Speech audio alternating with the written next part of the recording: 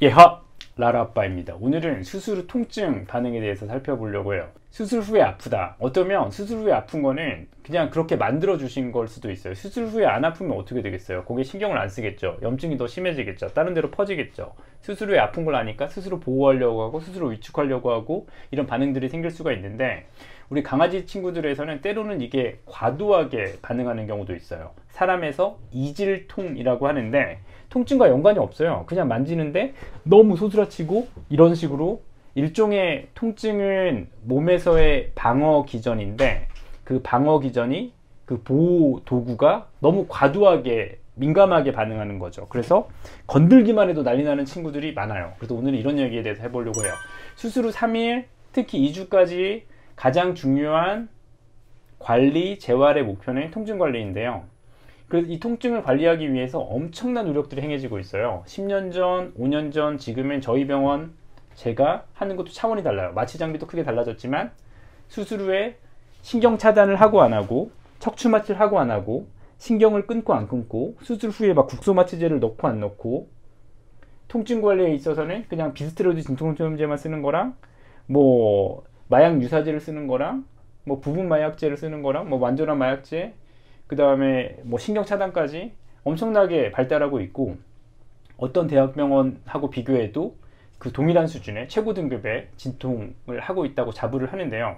그럼에도 불구하고 많은 아이들이 아파해요. 그래서 오늘은 이 부분에 대해서 살펴볼게요. 첫 번째, 수술 후 아픈 게 과연 꾀병일까 아니면 신경원성일까가 아니라 처음에는 정말 문제가 있어서 아픈 경우도 있어요.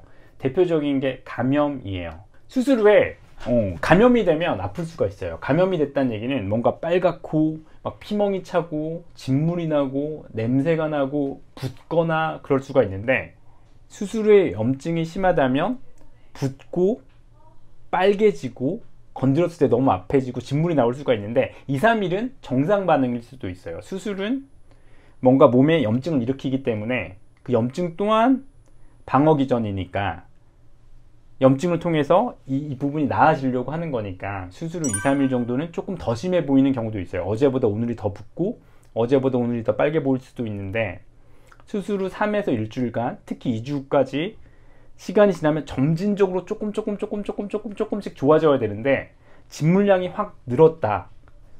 냄새가 나기 시작했다. 더 부었다라고 한 건 문제가 있을 수 있어요. 그럼 바로 병원에 가셔야 되고요. 병원에서 받아야 되는 조치는 CRP라고 하는 혈액 검사를 하셔야 돼요. 염증 수치가 높은지 낮은지. 예를 들면 수술 후 일주일이 지났는데 염증 수치 CRP 수치는 TD 정상인데 뭐 45 이상으로 높다. 뭐 수술 후에 일주일 후에 20 뭐 이 정도로 높을 수는 있어요. 정상은 TD지만 20으로 높을 수는 있는데 어, 만약에 50 이상 예를 들면 수술 후 일주일 후에 CRP 검사 수치가 100이다 이러면 거의 감염이 있을 수 있어요. 특히 수술한 데가 그렇게 빨갛고 붓거나 눈으로 봤을 때는 염증 반응이 없어 보이는데 아이가 너무 아파해서 CRP 검사를 했는데 100이다. 어, 이런 염증이 있을 수도 있어요. 이러니까 CRP 검사를 하는 건 보다 객관적으로 보다 초기에 수루 감염을 진단하는 데 도움이 돼요. 또 하나는 그 진물이 나거나 아니면 어, 이런 경우 세균 배양 검사가 필요해요. 실제로 술부에서 세균이 있는지 없는지를 현미경으로도 보고 세균을 배양하는 혈액 배지에 심어서 세균이 자라는지 그게 그냥 단순 피부 상재균인지 오염균인지 아니면 정말 원래 아이가 일부 아이들은 어, 사람도 그렇지만 항생제 내성균을 가지고 있다라고 해요. 캐리어라 그래요. 캐리어. 항생제 내성균을 가지고 있는 아이. 근데 아직은 증상이 없는 아이들. 이런 아이가 수술하고 나서 그게 갑자기 발현되거나 그럴 수도 있으니까 그걸 미리 알 수는 없어요. 어떤 검사도. 그런 검사 그런 경우는 잘 안 낫겠죠. 일반적인 수술을 하고 일반적인 항생제를 쓰더라도 그런 경우는 세균 배양 검사를 해서 실제로 혹시라도 항생제 내성균이 있지 않는지 혹시라도 어떤 항생제를 써야 되는지 검사를 해야 되니까 세균 배양 검사와 항생제 어, 감수성 검사를 하는 걸 강력하게 추천해요. 그런데 이런 염증 검사 아니면 현미경 검사에서 세균도 보이지 않았다. CRP 혈액 검사 수치도 정상이었고 수술 부위도 너무나 깨끗하다. 그런데 만지기만 하면 너무 아파하다. 그럴 때는 사람에서 얘기하는 이질통일 수도 있어요. 이질통이라고 하는 거는 실제로 병적인 상태가 아니라 너무 민감하게 반응하는 거죠. 건들기만 해도.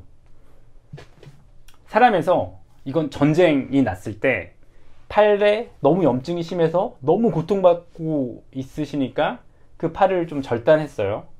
절단하고 나면 통증의 원인을 없앴으니까 안 아파야 되는데 팬텀, 유령의 사인이죠. 계속적으로 아파하는 분들이 꽤 많았다고 합니다. 이런 경우 이런 거에 일종의 MPS라고 하는 신경원성 통증인데요. 실제로 통증의 원인은 사라졌지만 계속 아픈 거죠.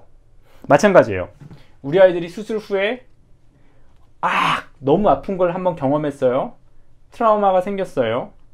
그러면 수술 후 염증이 좋아졌기 때문에 이젠 안 아파야 되는데 그때 그 기억 때문에 계속 아프게 될 수 있죠. 그래서 최근에 신경 차단을 한다든가 뭐 국소 마취를 한다든가 척추 마취를 한다든가 이런 것들이 그런 걸 좀 줄이기 위함이고 저희 병원에 수술하러 오는 날 진정제를 먹고 오게 하잖아요. 그런 진정제가 그런 거를 완화시켜주는 기능이 있어요. 그래서 만약에 여러분들 아이가 수술에 너무 아파한다.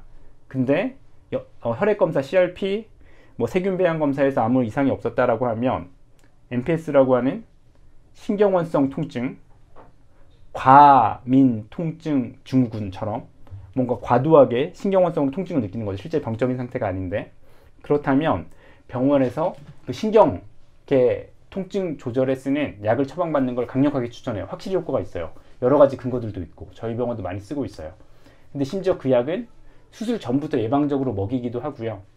최근에 저희가 그런 걸 전공하는 미국 수의사 선생님들이랑 상의를 했을 때도 굉장히 안전한 약이고 용량도 어, 병원들마다 이야기가 좀 다른데 계속 안전하게 점진적으로 늘릴 수 있는 약이니까 아이가 수술 후에 이런 신경원성 통증이 있다면 거기에 준한 약을 용량을 점진적으로 증량해 가면서 처방받아서 빨리 아이를 덜 아프게 해줘서 이런 트라우마로부터 나올 수 있게끔 해주는 게 좋아요.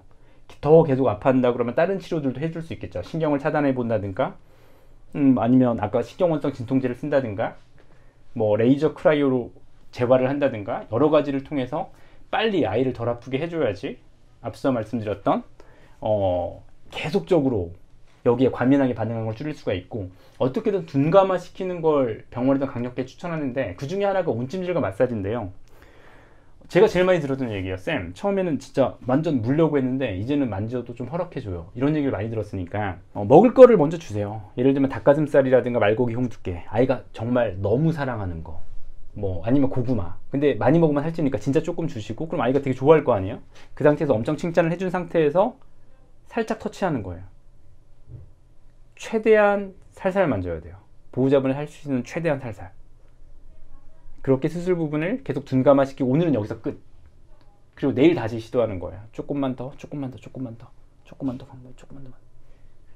이런 걸 만약에 허락한다 그러면 온찜질을 수술한 데가 여기라면 이렇게 360도에서 온찜질을 하는 거고 계속 먹을 걸 주시는 거 엄청 칭찬해 주시는 거고 마사지를 하는 거고 그래서 이런 신경활성 통증이 있을 때 병원에서 약을 처방 받으시고 그 약간 진정 효과가 있거든요. 그래서 그 약을 처방 받으시고 온찜질이라든가 마사지를 동반해 주시고 뭐 재활 치료를 할 수 있으면 그런 걸 동반해도 도움이 될 것 같아요. 오늘은 수술 후 갑자기 너무 아파요. 이러면 어떻게 해야 돼요에 대해서 알아봤어요. 신경환성 통증. 어, 우리 어떤 아이들은 통증이 너무 과민한 것 같아. 이런 친구들을 제가 굉장히 많이 봤는데 몇몇 연구들은 작은 것들이 있었지만 이렇게 교과서상으로 신경원전 통증에 대한 언급한 내용은 제가 처음 최근 교과서에서 봐서 그 내용을 공유하고자 여러분들과 이 영상을 촬영했고요. 어, 도움이 있으셨으면 좋겠네요. 그럼 오늘 하루도 행복한 하루 되세요.